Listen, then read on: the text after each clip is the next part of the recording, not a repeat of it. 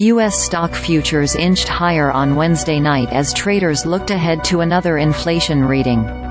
Dow Jones Industrial Average Futures rose 32 points, or less than 0.1%. S&P 500 futures advanced 0.1%, and Nasdaq 100 futures climbed 0.2%. In after-hours action, Trading platform Robinhood popped 10% after the company reported a 16% increase in assets under custody in February from the prior month.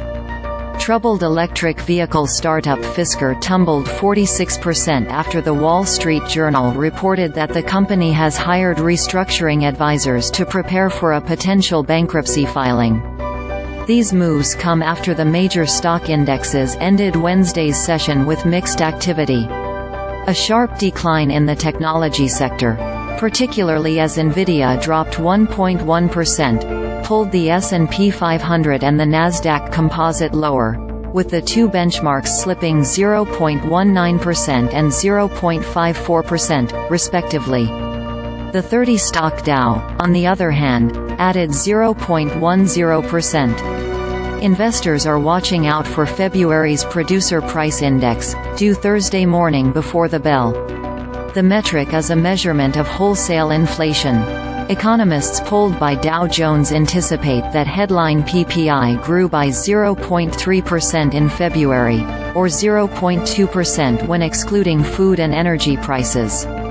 The PPI report is the last major piece of economic data to be released prior to the Federal Reserve's upcoming policy meeting, set for March 19 to 20. The bigger market theme right now is the sell-off in the technology sector, according to Jay Woods, the chief global strategist of Freedom Capital Markets. Just two stocks in the Magnificent Seven cohort ended Wednesday higher, Alphabet and Amazon. At the same time, Seven of the 11 S&P sectors ended the day on a positive note, with energy and materials leading the way.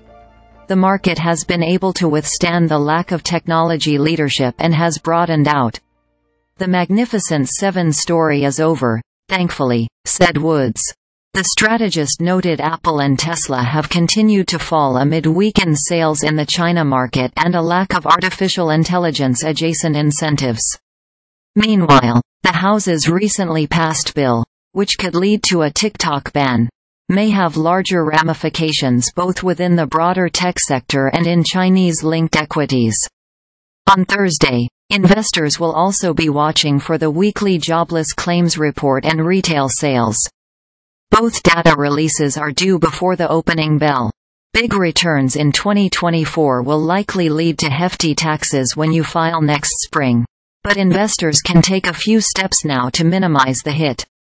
Do a checkup on your investment portfolio to see how you can enhance its tax efficiency, said Jared Woodard, an investment and ETF strategist at Bank of America. For starters, consider switching some of your existing mutual funds for exchange-traded funds. Mutual funds can spin out hefty year-end capital gains distributions, as managers sell holdings to cash out departing investors. You can also rethink your asset allocation and location.